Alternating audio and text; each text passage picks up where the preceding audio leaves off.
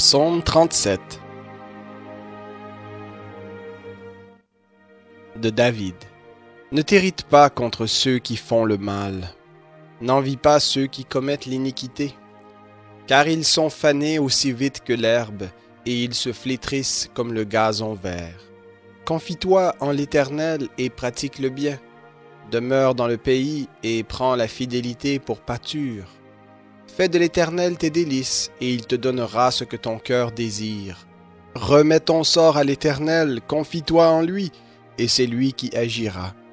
Il fera paraître ta justice comme la lumière et ton droit comme le soleil à son midi.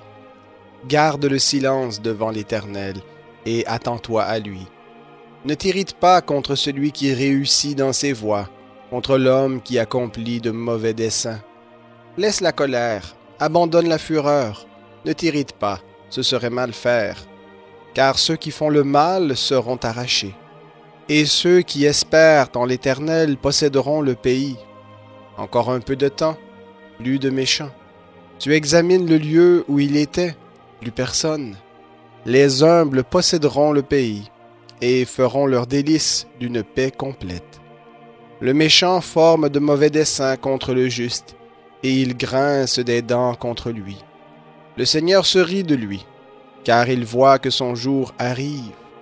Les méchants tirent l'épée, ils bandent leur arc, pour faire tomber le malheureux et le pauvre, pour égorger ceux dont la voie est droite. Leur épée entrera dans leur propre cœur, et leurs arcs se briseront.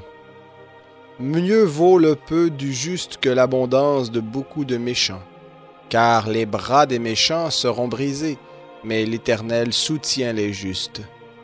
L'Éternel connaît les jours des hommes intègres, et leur héritage dure à jamais. Ils ne seront pas dans la honte au temps du malheur, et au jour de la famine ils seront rassasiés. Mais les méchants périront, et les ennemis de l'Éternel comme les plus beaux pâturages, ils s'évanouiront, ils s'évanouissent en fumée. Le méchant emprunte et il ne rend pas. Le juste fait grâce et il donne. Car ceux que bénit l'Éternel posséderont le pays, et ceux qu'il maudit seront retranchés. Par l'Éternel, les pas de l'homme s'affermissent. Il prend plaisir à sa voix. S'il tombe, il n'est pas terrassé, car l'Éternel lui soutient la main. J'ai été jeune, j'ai vieilli, et je n'ai pas vu le juste abandonné, ni sa descendance mendiant son pain.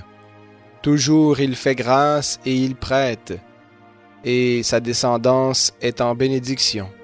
Écarte-toi du mal, fais le bien, et demeure pour toujours, car l'Éternel aime le droit, et il n'abandonne pas ses fidèles.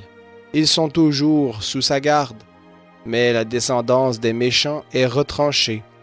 Les justes posséderont le pays, et ils y demeureront à jamais. La bouche du juste exprime la sagesse, et sa langue proclame le droit. La loi de son Dieu est dans son cœur, ses pas ne chancellent pas. Le méchant épie le juste, et cherche à le faire mourir. L'Éternel ne l'abandonne pas entre ses mains, et il ne le laisse pas condamner quand il est en jugement. Espère en l'Éternel, garde sa voix, et il t'élèvera pour que tu possèdes le pays tu verras les méchants retranchés. J'ai vu le méchant dans toute sa puissance. Il s'étendait comme un arbre verdoyant. Il a passé, et voici qu'il n'est plus. Je l'ai cherché, mais il était introuvable. Observe celui qui est intègre et regarde celui qui est droit. Il y a un avenir pour l'homme de paix. Mais les rebelles sont tous détruits. L'avenir des méchants est retranché.